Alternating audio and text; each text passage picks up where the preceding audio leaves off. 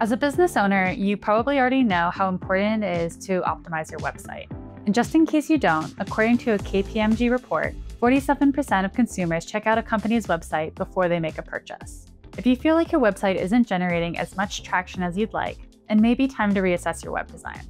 Here are the five most important parts of a web page that could make or break your web performance. Starting with site navigation.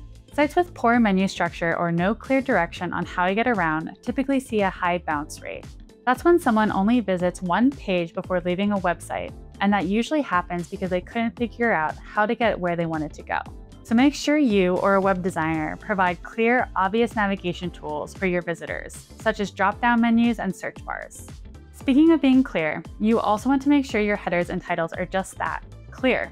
The titles of each web page should speak directly to the challenge or question users are seeking when they look at your content. Great headers will allow users to easily skim and comprehend your web content, and they should be able to log onto your site and find what they need with ease because your titles are descriptive and informative. Now, this next one is really important. When building out your web pages, consider your content on each page. If it's a blog page, the content on the page will likely be the text in your posts, while a product page or a service page may have some shorter text describing its value or introducing visuals. Great web content is important because it will help your website appear higher on search engines like Google. This content is exactly what search engines pull from to give your site credibility. And while text is important to your website, so are images and videos. 62% of younger generations want visual search capability. So that younger CEO you've been pitching to for the last couple of days may just come around because of the videos and images on your website.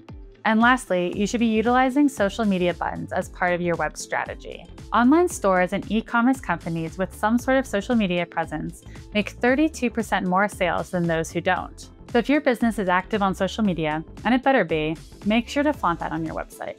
So to recap, in case you missed it, your web presence strategy should include functional site navigation, clear headers and titles, great written content, images and videos, and a clear social media presence. If you need any more tips on your web presence strategy, take a look at Clutch's blog.